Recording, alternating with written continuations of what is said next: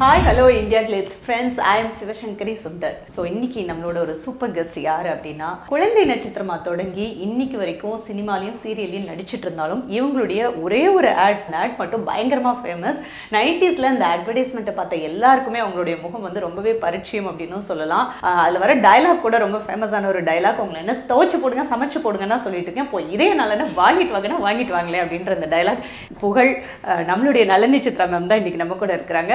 வணக்கம். எப்படி இருக்கீங்க மேம் நல்லா இருக்கேங்க. ரொம்ப நாள் ஆச்சு உங்களை ரொம்ப வருஷம் ஆச்சு. எஸ் நான் டுவெண்ட்டி இயர்ஸாக நான் ஃபீல்லே இல்லை.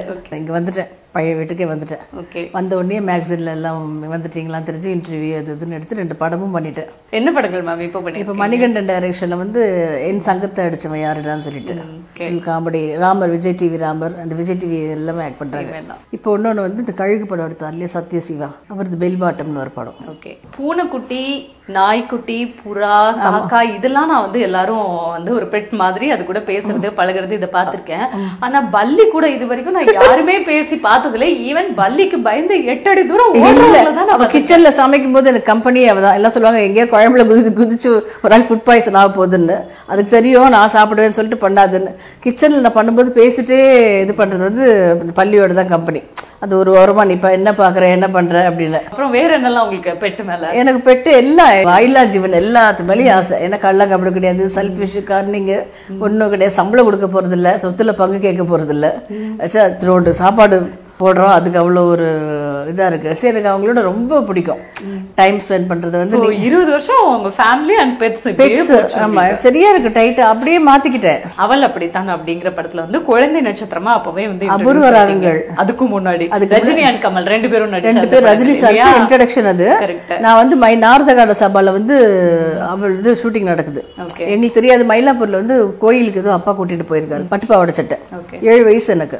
போயிட்டு வரும்போது பார்த்தா ஒரு இடத்துல வந்து பயங்கர கும்பல். என்ன ஒரே கூட்டமாக இருக்குன்னு சொல்லிட்டு எட்டி பார்த்தா அங்கே வந்து ஜெயசுதா ஸ்ரீவித்யா கமல் அப்போ ரஜினி சார் யாருன்னு தெரியல கோட்டெல்லாம் போட்டுட்டு ஒருத்தர் தாடியெல்லாம் வச்சுட்டு இருந்தாரு. மேஜர் சுந்தராஜன் நாகேஷ் எல்லாமே. அப்போ என்னதான் எட்டி எட்டி பார்க்கும்போது கும்பலில் பிடிச்சி நான் தள்ளி விட்டாங்க போட்டு. கும்பலில் போய் தள்ளி விட்டோடனே போய் கரெக்டாக போய் கேமரா முன்னாடி போய் தப்புன்னு விழுந்திருக்கேன்.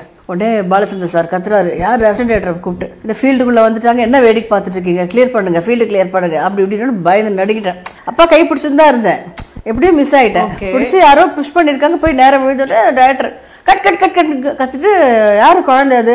முன்னாடி விழுந்திருக்கு. என்ன பண்றீங்க? ஃபீல்டு கிளியர் பண்ண சொன்னா என்ன வேடிக்கை பார்த்துட்டு இருக்கீங்கன்னு. அப்புறம் ஆனந்த் சார்ல அவர்லாம் வந்து அப்புறம் எல்லாம் வந்து அழு அழ ஆரம்பிச்சிட்டேன். பிடிச்சி யாரு குழந்தையோட அப்பா யாரு? யாரோட வந்திருக்க? எல்லாம் என்ன கேட்க ஆரம்பிச்சாங்க.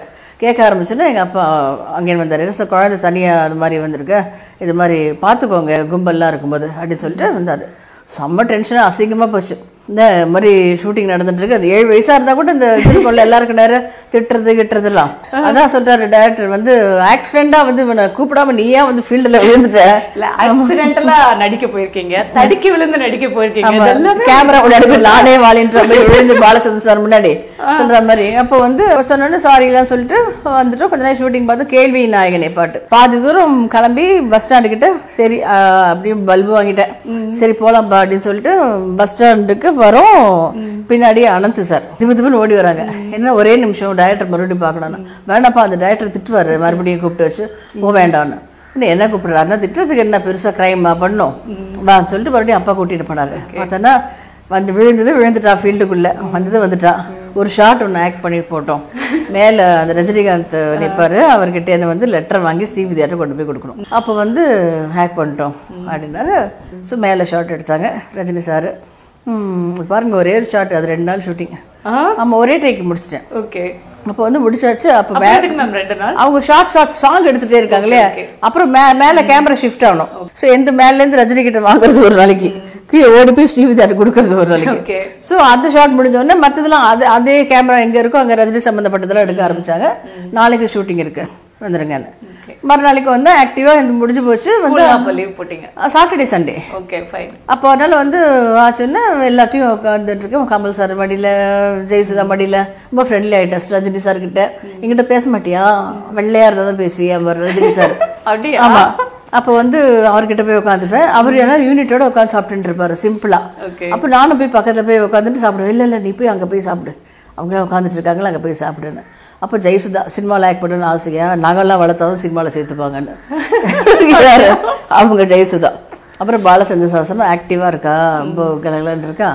அவளுக்கு இன்ட்ரெஸ்ட் இருக்குது போல் இருக்கு. இப்போ என்ன ஏஜ் செவன் இயராக நெக்ஸ்ட்டு வந்து ஸ்டெப் பை ஸ்டெப் வளர வளர நீங்கள் அவளோட ஃபோட்டோஸ் வந்து காமிங்க கொண்டு வந்து காமிங்க. என்கரேஜ் பண்ணுங்க. படிக்கும் படிக்கட்டும். She'll come up like anything சொல்லிட்டு பாலச்சந்திரன் சொன்னார். அவருடைய ஆசீர்வாதம் இல்ல ஆமா, ஆமா. ரியலி கொட்டுப்பட்டாலும் மோதிர கையில கொட்டு போடணும்னு சொல்லுவாங்களா அந்த மாதிரி ஒரு விஷயம் அவரே தாங்க எல்லாத்துக்குமே என்னோட சினிமா வந்ததுக்கு காரணமே எல்லா ரீசன்லேயும் ஒத்துழைப்பு தான். ம், உங்க salary ஃபர்ஸ்ட் வாங்குனது என்ன அப்படின்னு சொல்லுங்க. சேலரி எனக்கு ஃபர்ஸ்ட் வந்து ஒண்ணுமே கொடுக்கல. ஃபர்ஸ்ட் படத்துல. ஏன்னா வந்து பாசிங் ஷாட் இல்ல. ஏதோ சாக்லேட் அது இது. அது மாதிரி தான். கிடைச்சது நிறைய. ஆமா gift கிடைச்சது. சேலரிலாம் இல்ல. பஸ்ல வந்து ஷூட்டிங் பார்த்துட்டு வந்தோம். செகண்ட் டே வரும்போதே ஐசிஎஃப்ல இருந்து கார் அமிச்சு கார்ல கூட்டிட்டு போயிட்டு கார்ல கொண்டு போய் விட்டுறது. அதான் ஒரு ஃபர்ஸ்ட் இது. அப்புறம் வந்து சேம் பட்டுப்பாவாடை தான் சட்டை. இதே கண்டினியூட்டி அதை எடுத்துட்டு வந்தோம். நல்லா என்ஜாய் பண்ணேன். எங்களுக்கு சம்பளம்லாம் கேட்க தெரியாது. அப்போ வந்து என்ன செகண்ட் வந்து ஸ்ரீதேவியோட குழந்தையா. சக்கர நாற்காலியில் கால் இல்லாத குழந்தை. அதுக்கு வந்து என்னை வந்து ஓகே பண்ணார். கரெக்டாக எனக்கு எக்ஸாம் அப்போ வந்து செவன்த்து முடிச்சுட்டு எயித்து போகிறேன் எயித்து போது பப்ளிக் எயித்துலாம் ஏஎஸ்எல்சியில் இப்போ எக்ஸாம் ஸோ எக்ஸாம் போது பண்ண முடியல. அந்த படம் பண்ண முடியல. ஸோ கோச்சுக்கல அவர். உடனே அந்த ஹாலிடேஸ் எப்போ இருக்கோ அவளுக்கு அப்படின்னாங்க. அப்போ நவராத்திரி லீவ் இருக்கும். ஸோ நவராத்திரி லீவ் போது கரெக்டாக இருக்கும்போது அவள் அப்படித்தான் படத்துக்காக ருத்ரையா. எல்லாமே நல்ல நல்ல பேனருக்கு எனக்கு சினிமான்னு என்னன்னே தெரியாது. பட் அமைஞ்சது எல்லாமே பெரிய கன்சர்ன் பெரிய டேரக்டர் ஸோ ருத்ரையாவோட படம் சேம் கமல் ரஜினி. அந்த படத்தில் சின்ன ஸ்ரீபிரியா. ஃப்ளாஷ்பேக் ஸ்ரீபிரியாவா ஆஹ் அது ஒரு த்ரீ டே ஷூட்டிங் அப்போல்லாம் அந்த வளச்சராக்கம் கிட்ட குதிரை மேலே வர மாதிரிலாம் ஷாட்டு வளச்சராக்கம்லாம் காடு மாதிரி இருக்கும் அப்போல்லாம். அந்த ஷூட்டிங் பாலச்சந்திர ரெக்கமெண்டேஷன் அந்த ராஜா அந்த யாரா குழந்தை வேணும்னு கேட்டால் உடனே சித்திராண்டுவாங்க கவிதாலயில் போய் பேபி ஆர்டிஸ்ட் வேணும்னு கேட்டால் உடனே அங்கே. அதுக்கப்புறம் பார்த்தோன்னா அவள் அப்படித்தான் முடிச்சாச்சு. எயித்து முடிச்சுட்டு நைன்த் நினைக்கிறேன். வீட்டுக்கு ஒரு நாள் வர ஸ்கூல் வாசலில் வந்து அப்பா நிற்கிறார் ஸ்கூட்டரில் பர்மிஷன் கேட்டு என்ன பார்த்தோன்னா ஹாசன் பிரதர்ஸ்லேருந்து வண்டி வந்திருக்கு. ஓகே அப்படின்னு. வந்தோடனே பார்த்தோன்னா ஹாசன் பிரதர்ஸில் வண்டி.